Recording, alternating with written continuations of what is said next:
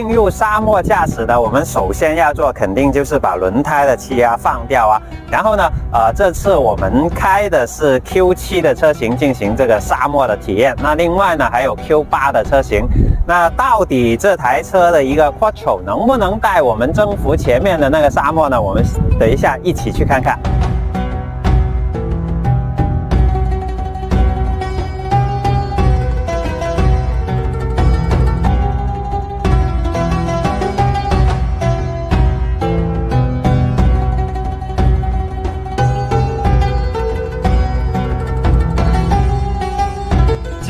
才我们已经跑了一段这个沙漠啊，它这里的沙确实是非常软的。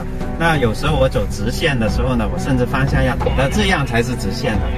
那然后呢，它给我的感觉就是，其实它的这个 Quattro 的一个介入呢是 OK，而且它的一个动力呢是非常给力的。你看，你看，看，其实我们动力是非常给力的。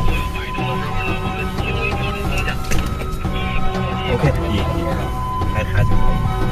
现在咱们是二档冲这个坡，在这种坡呢，一定要保持油门，不能说突然松开它。然后停车呢，咱们就千万要慢慢，不能说一脚把刹车踩死。当然，如果是下坡位呢，是完全没问题的。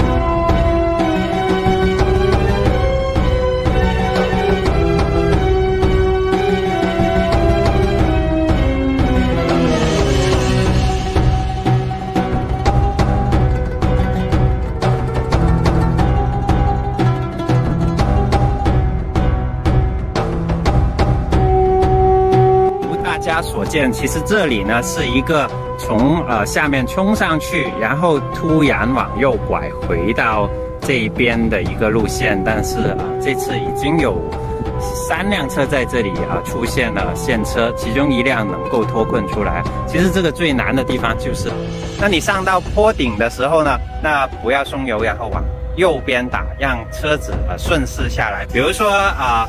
这个车屁股往哪边滑动，你就往那边打方向，千万不要跟它反着来。其实，在沙漠里面驾驶，这个是最基本的一个技术。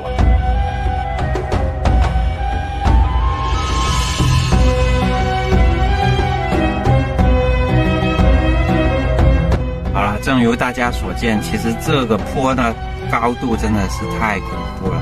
然后，如果你把车，落在了上方这个地方呢，对，没错，很容易侧翻下来的。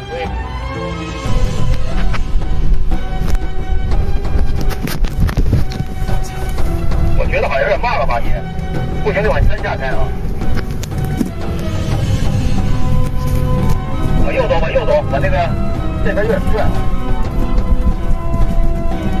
走走走走走走，往右，往右，往右，往右，往上走。哎，上边有平台，可以啊。怎么样？对不起你，丢弃你，试试吗？